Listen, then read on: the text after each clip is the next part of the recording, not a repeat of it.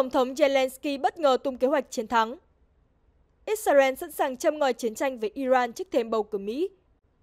Làn sóng cử tri ở bang Georgia đạt kỷ lục mới trong bầu cử sớm. 1,4 triệu thanh niên Triều Tiên sẵn sàng nhập ngũ chỉ trong 2 ngày.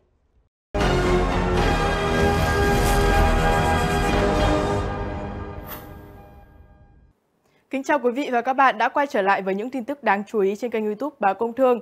Vừa rồi là những tin chính sẽ có trong chương trình. Sau đây là nội dung chi tiết. Tổng thống Zelensky bất ngờ tung kế hoạch chiến thắng. Theo Reuters cho biết, Tổng thống Volodymyr Zelensky vừa trình bày kế hoạch chiến thắng vào thứ Tư, kêu gọi đồng minh khẩn trương hỗ trợ Ukraine vượt qua thời điểm cam go để kết thúc chiến tranh vào năm sau. Trước tình hình quân Nga tiến sâu ở miền Đông và nguy cơ mất điện trong mùa đông, ông Zelensky nhấn mạnh 5 điểm trọng yếu của kế hoạch, bao gồm lời mời gia nhập NATO ngay lập tức và viện trợ vũ khí. Đổi lại, ông đề nghị phương Tây đầu tư vào tài nguyên khoáng sản của Ukraine và cam kết binh sĩ Ukraine sẽ thay thế một số lực lượng Mỹ ở châu Âu để bảo vệ NATO. Chúng ta phải thay đổi cục diện cùng đối tác để chấm dứt chiến tranh, bất kể Putin muốn gì, ông khẳng định trước Quốc hội và các quan chức cấp cao. Ông Zelensky cho biết kế hoạch này nhằm buộc Nga ngồi vào bàn đàm phán với thiện trí. Đồng thời, ông cũng thừa nhận một số đồng minh phương Tây lại có cái nhìn khác về cách kết thúc xung đột. Chúng ta nghe từ đàm phán, từ đối tác nhiều hơn từ công lý. Ukraine sẵn sàng ngoại giao, nhưng phải là ngoại giao trung thực, ông nhấn mạnh. Một trong những điểm chính của kế hoạch là xây dựng gói gian đe chiến lược phi hạt nhân nhằm bảo vệ Ukraine và vô hiệu hóa sức mạnh quân sự Nga. Tuy nhiên, ông tiết lộ có một phụ lục bí mật chưa thể công khai. Kế hoạch này cũng đề xuất phương Tây đầu tư vào khai thác và bảo vệ tài nguyên khoáng sản của Ukraine, đồng thời cam kết giúp đỡ Ukraine tái thiết sau chiến tranh. Ông Zelensky thừa nhận đây sẽ là thử thách lớn đối với ý chí chính trị của các đồng minh. Những nước đã viện trợ hàng tỷ USD vũ khí, nhưng lo ngại xung đột leo thang với quốc gia sở hữu kho vũ khí hạt nhân lớn nhất thế giới. Tổng thư ký NATO mới Mark Rutte đánh giá kế hoạch của ông Zelensky là tín hiệu mạnh mẽ, nhưng cho biết chưa thể ủng hộ toàn bộ. Trong khi đó, Điện Kremlin nói Kiev cần tỉnh táo và từ bỏ những chính sách vô ích. Đáp lại, ông Zelensky cảnh báo rằng Nga đang tăng cường chiến dịch nhờ vào vũ khí và nhân lực từ Triều Tiên, đồng thời nhắc lại cáo buộc Iran từng cung cấp tên lửa cho Nga, điều mà Moscow phủ nhận. Nga chút cơn mưa UAV lên các thành phố lớn phía tây Ukraine. Theo Reuters đưa tin, trong đêm ngày 16 tháng 10, Nga đã tiến hành một trong những cuộc tấn công bằng UAV quy mô lớn nhất vào Ukraine trong những tháng gần đây. Hàng loạt UAV đã được phóng đi nhắm vào nhiều mục tiêu trên khắp các thành phố lớn thuộc miền Tây của Ukraine, gây ra hỏa hoạn và thiệt hại đáng kể. Theo thông tin từ không quân Ukraine, lực lượng phòng không đã bắn hạ 68 trong tổng số 136 UAV được phóng đi. Tuy nhiên, một số UAV vẫn xuyên qua được hệ thống phòng thủ và gây ra thiệt hại tại các cơ sở hạ tầng quan trọng, đặc biệt là ở khu vực Chernobyl. Cụ thể, một đám cháy lớn đã bùng phát tại một cơ sở công nghiệp ở Ternopil sau khi bị drone tấn công. Mặc dù lực lượng cứu hỏa đã nhanh chóng có mặt để dập tắt đám cháy, nhưng vụ việc đã gây ra thiệt hại đáng kể về tài sản. Không chỉ Ternopil, thủ đô Kiev cũng hứng chịu một cuộc tấn công dữ dội. Tất cả các UAV nhắm vào Kiev đều đã bị tiêu diệt. Tuy nhiên, một số khu vực ngoại ô đã bị ảnh hưởng, gây ra hỏa hoạn tại một số ngôi nhà dân. Cảnh sát Moldova cho biết họ đã tìm thấy mảnh vỡ của một vật được cho là tên lửa ở phía bắc nước này, cách biên giới với khu vực Vinnytsia của Ukraine khoảng 4 km. Chưa rõ liệu vật thể này có liên quan đến cuộc tấn công mới nhất hay không. Theo thống đốc Ruslan Grabchenko, cuộc tấn công bằng UAV đã gây ra hỏa hoạn tại một căn nhà riêng gần Kiev và làm hư hại một số công trình khác. Khu vực này đã bị đặt trong tình trạng báo động không kích hơn 12 giờ. Đồng thời, ông Grabchenko xác nhận không có thương vong. Ông Sihi Popko, người đứng đầu chính quyền quân sự Kiev cho biết tất cả các drone nhắm vào thủ đô trong đêm đều đã bị tiêu diệt và không có thiệt hại hay thương vong nào được ghi nhận. Các cuộc tấn công bằng UAV liên tục của Nga đã gây ra những hậu quả nghiêm trọng đối với cuộc sống của người dân Ukraine. Hệ thống năng lượng bị phá hủy, khiến hàng trăm nghìn người dân phải đối mặt với tình trạng mất điện kéo dài, đặc biệt trong những ngày đông giá lạnh. Các chuyên gia nhận định rằng các cuộc tấn công bằng UAV liên tục của Nga nhằm mục tiêu làm suy yếu ý chí chiến đấu của người dân Ukraine và gây áp lực lên chính quyền Kiev. Israel sẵn sàng châm ngòi chiến tranh với Iran trước thềm bầu cử Mỹ. Theo tờ New York Post, Israel đã hoàn tất kế hoạch phản công Iran và các quan chức Mỹ dự báo đợt tấn công có thể diễn ra trước cuộc bầu cử tổng thống vào ngày 5 tháng 11. Động thái này nhằm đáp trả vụ Iran phóng hàng loạt tên lửa đạn đạo vào Israel đầu tháng 10. Nếu xảy ra, cuộc tấn công có thể đẩy xung đột Trung Đông lên thành tâm điểm chú ý, ảnh hưởng đến quyết định của cử tri Mỹ.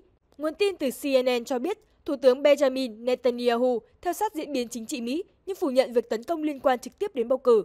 Ông lo ngại hơn về tác động chính trị đối với Israel. Một nguồn khác tiết lộ với The Washington Post rằng Israel sẽ tiến hành cuộc tấn công sao cho không ảnh hưởng đến bầu cử tại Mỹ. Ông Netanyahu đã tuyên bố Iran sẽ phải trả giá cho cuộc tập kích hôm ngày 1 tháng 10, nhưng trấn an Tổng thống Joe Biden rằng Israel chỉ nhắm vào các mục tiêu quân sự, không động đến các nhà máy lọc dầu hay cơ sở hạt nhân của Iran. Chính quyền Biden-Harris đã phản đối mạnh mẽ việc tấn công vào các cơ sở dầu mỏ và hạt nhân, lo sợ nguy cơ bùng phát chiến tranh toàn diện tại khu vực. Chúng tôi luôn lắng nghe ý kiến từ Mỹ, nhưng mọi quyết định cuối cùng sẽ dựa trên lợi ích quốc gia. Văn phòng Thủ tướng Netanyahu nhấn mạnh, nhiều quốc gia Trung Đông cũng cảnh báo Israel không nên động đến các dầu mỏ của Iran vì lo ngại giá dầu tăng vọt. Các nhà phân tích cho rằng giá xăng leo thang sẽ gây bất lợi cho liên danh tranh cử của Phó Tổng thống Kamala Harris vì tranh cử thường đổ lỗi cho chính quyền đương nhiệm khi chi phí sinh hoạt tăng. Hôm ngày 10 tháng 1, Iran phóng khoảng 200 tên lửa vào Israel, khiến một người Palestine thiệt mạng tại Tel Aviv và nhiều khu vực khác bị ảnh hưởng.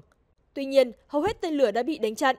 Vệ binh cách mạng Hồi giáo Iran cho biết, vụ tấn công này nhằm trả đũa cho việc các lãnh đạo của Hezbollah, Hamas và một tướng Iran bị ám sát gần đây. Bất chấp cảnh báo từ Iran yêu cầu Mỹ không can dự, Washington hôm Chủ nhật vẫn quyết định triển khai hệ thống phòng thủ Tha'ad cùng lực lượng binh sĩ tới Israel để hỗ trợ. Israel phải mở cửa cho hàng cứu trợ trích tối hậu thư từ Mỹ. Theo The New York Times, Israel đã cho phép 50 xe chở hàng cứu trợ vào Bắc Gaza từ Jordan hôm thứ Tư, sau khi Mỹ cảnh báo về khả năng cắt viện trợ quân sự nếu không có thêm hàng viện trợ trong vòng 30 ngày. Đây là một trong những cảnh báo cứng rắn nhất của Washington kể từ khi xung đột bắt đầu. Cô Watt, cơ quan quản lý chính sách của Israel tại Gaza và bờ Tây, phủ nhận việc hạn chế hàng viện trợ và đổ lỗi cho các tổ chức nhân đạo vì không phối hợp kịp thời số hàng đã được kiểm duyệt. Tuy nhiên, Liên Hợp Quốc cho biết Israel đã siết chặt phong tỏa ở Bắc Gaza, khiến nguy cơ đói kém ở khu vực này trở nên nghiêm trọng. Chương trình Lương thực Thế giới WFP cảnh báo, người dân đã cạn kiệt mọi cách đối phó, hệ thống lương thực sụp đổ và nguy cơ nạn đói là có thật. Trong một bức thư gửi Bộ trưởng Quốc phòng Israel Joe Gallant và Bộ trưởng Chiến lược Ron Dermer, Bộ trưởng Quốc phòng Mỹ Lloyd Austin và Ngoại trưởng Antony Blinken yêu cầu Israel cho phép ít nhất 350 xe cứu trợ vào Gaza mỗi ngày và tạo điều kiện cho người dân di chuyển trước mùa đông. Mỹ cảnh báo nếu trong vòng 30 ngày không có thay đổi, Washington sẽ cân nhắc cắt viện trợ quân sự cho Israel. Lá thư cũng chỉ trích Israel vì đã ngừng nhập khẩu thương mại và gây khó khăn cho quá trình xét duyệt hàng viện trợ, làm trầm trọng thêm tình trạng nhân đạo vốn đã khắc nghiệt tại Gaza. Bên cạnh cảnh báo các viện trợ quân sự, lá thư của Mỹ cũng thể hiện sự ủng hộ ngoại giao mạnh mẽ đối với cơ quan cứu trợ Liên Hợp Quốc. Thông điệp này được đưa ra trong bối cảnh Quốc hội Israel đang xem xét dự luật coi cơ quan cứu trợ Liên Hợp Quốc là tổ chức khủng bố. Mỹ bày tỏ lo ngại sâu sắc rằng nếu dự luật được thông qua, nó sẽ tàn phá nỗ lực cứu trợ nhân đạo trong thời điểm đặc biệt cấp bách. Một hội đồng chuyên gia quốc tế hồi tháng 6 cho biết gần 500.000 người dân Gaza đang đối mặt với nguy cơ chết đói do tình trạng thiếu lương thực nghiêm trọng.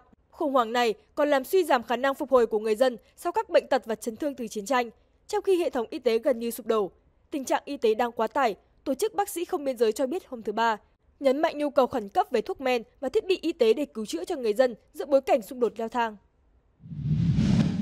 Làn sóng cử tri ở bang Georgia đặt kỷ lục mới trong bầu cử sớm. Hơn 300.000 cử tri đã đi bầu trong ngày đầu tiên bỏ phiếu sớm tại Georgia, cao hơn 123% so với kỷ lục trước đó. Tỷ lệ bỏ phiếu cao ở Georgia được xem như dấu hiệu cho thấy sự hăng hái của cử tri, đặc biệt là khi cuộc đua vào Nhà Trắng năm 2024 đang bước vào giai đoạn nước rút. Với 16 phiếu đại cử tri, Georgia là một trong 7 bang chiến địa có sự cạnh tranh quyết liệt. Cuộc đua xích sao ở bang này có thể quyết định ứng viên nào trở thành Tổng thống Mỹ tiếp theo. Cả chiến dịch tranh cử của Phó Tổng thống Mỹ Kamala Harris và cựu Tổng thống Mỹ Donald Trump đều hướng đến mục tiêu giành chiến thắng tại Georgia. Ông Trump hôm 15 tháng 10 đã vận động tranh cử ở Atlanta, thủ phủ và cũng là thành phố đông dân nhất của Georgia, trong khi bà Kamala Harris sẽ tổ chức sự kiện riêng tại thành phố này vào ngày 19 tháng 10 tới. Theo kế hoạch, bầu cử sớm ở Georgia sẽ diễn ra từ ngày 15 tháng 10 đến ngày 1 tháng 11.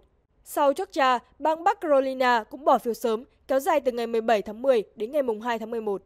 Theo Trung tâm Phân tích Dữ liệu Bầu cử Mỹ Election Lab thuộc Đại học Florida, tính đến nay đã có 5,5 triệu cử tri đi bỏ phiếu sớm trên phạm vi toàn quốc.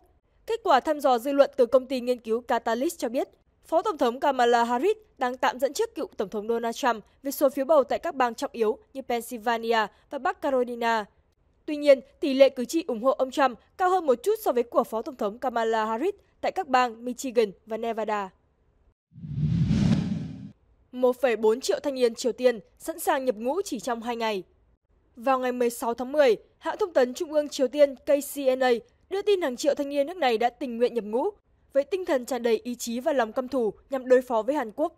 Điều này diễn ra sau khi Seoul bị cáo buộc đưa máy bay không người lái xâm nhập không phận Bình Nhưỡng, gây ra căng thẳng nghiêm trọng trên bán đảo Triều Tiên.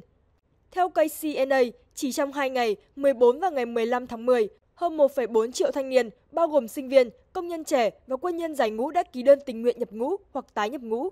Số lượng thanh niên tình nguyện vẫn đang tăng lên từng giờ.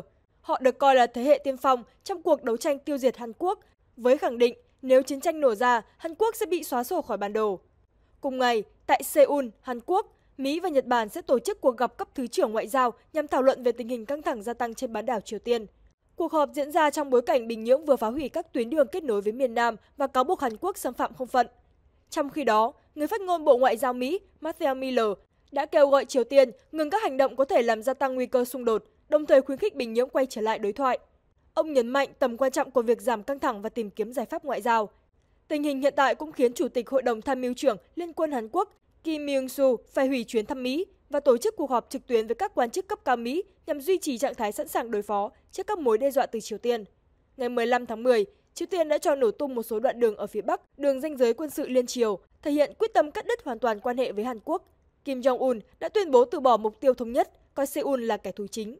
Em gái của ông, bà Kim Yu-yong cũng cảnh báo rằng một thảm kịch khủng khiếp sẽ xảy ra nếu drone của Hàn Quốc tiếp tục xuất hiện trên bầu trời Bình Nhưỡng.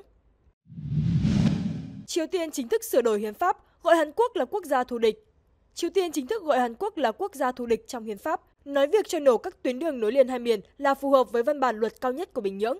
Theo Yonhap, trong ngày 17 tháng 10, hãng thông tấn Trung ương Triều Tiên KCNA cho biết, Quốc hội nước này đã hoàn thành việc sửa đổi hiến pháp, qua đó xác định rõ ràng Hàn Quốc là quốc gia thù địch. Cũng theo KCNA, Bình Nhưỡng coi việc cho nổ một số tuyến đường bộ nối liền bán đảo Triều Tiên là hành động phù hợp với hiến pháp, thể hiện nỗ lực tách biệt hoàn toàn lãnh thổ với Hàn Quốc. Ở thời điểm hiện tại, toàn bộ các tuyến đường bộ cao tốc và đường sắt giữa hai miền cũng đã bị chặn hoàn toàn. Đây là phương thức hợp pháp và tất yếu, được thực thi theo yêu cầu của hiến pháp Triều Tiên, trong đó định nghĩa Hàn Quốc là quốc gia thù địch.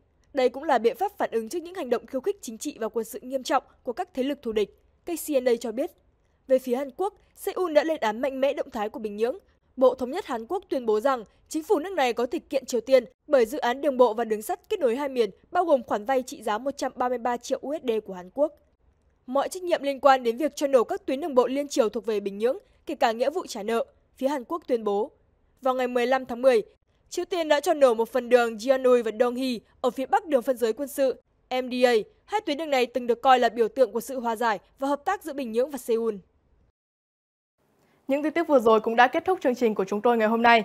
Cảm ơn quý vị đã quan tâm theo dõi. Xin kính chào và hẹn gặp lại quý vị trong những chương trình tiếp theo.